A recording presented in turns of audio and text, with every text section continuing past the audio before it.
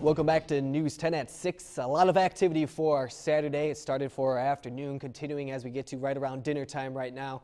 We do have a severe thunderstorm warning, one of them through Lawrence County in Illinois, areas like Lawrenceville, Sumner, right in the way of that storm. That is until 5.30 for you folks in Illinois. And just right to the east of that in Knox County, we have another severe thunderstorm warning, and that expires at 6.45 Eastern Time. So let's take a close look at that. Let's see what's going on with those storms that are just off to the south. Here is that cell right there pushing to the northeast. Sumner, lightning, heavier rain, as well as strong wind associated with these storms, tracking off to the north and northeast. Just right to the east there for Vincennes, same factor for you as these strong storms are lifting to the north. Expect that in off to Emison there up 41, continuing to see those storms developing as we head through the evening hours. Here is another severe thunderstorm warning that just popped up.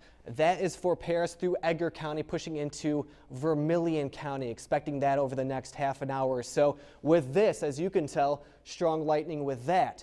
Folks, if you're going out for your evening, it's better that you do stay indoors, find some shelter as we see some stronger storms moving through. There might be some areas of dry conditions with some sunshine, but we will have the threat for some strong to severe thunderstorms as we continue through the evening hours.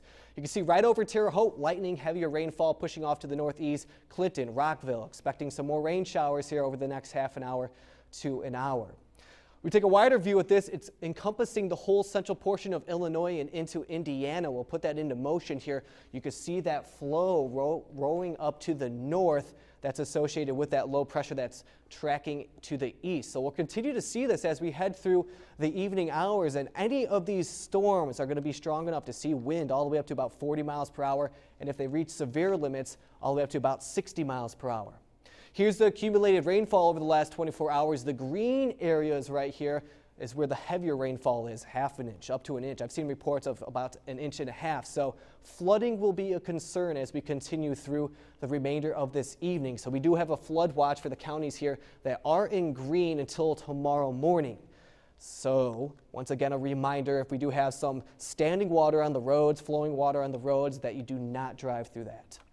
Continuing through the evening, we'll see scattered storms uh, continuing through, and uh, that chance will be through the evening and into tonight before we cool off behind it. More stable weather starts to move on in. Here's the low pressure right there, driving that moisture off to the north with the heat, the energy. That's what's providing all of the development for those strong storms for this evening. So Futurecast will keep that in the forecast. Look at this, 10 o'clock still here, expecting the heavy rain as well as some lightning before it slowly starts to dry up as we get into the overnight Sunday. Our Monday too, we'll just see mostly some cloud coverage here over the next few days or so. Let's take a look at the seven day forecast here. We have for our Sunday high of only 63 degrees. That rain should be out of here by the afternoon, just leaving temperatures in the 60s. Monday, uh, Monday, Tuesday, Wednesday, Thursday, temperatures slowly on the warm up, but we do dry up, become more stable. Wednesday, 80 degrees. Friday and Saturday in the mid 80s.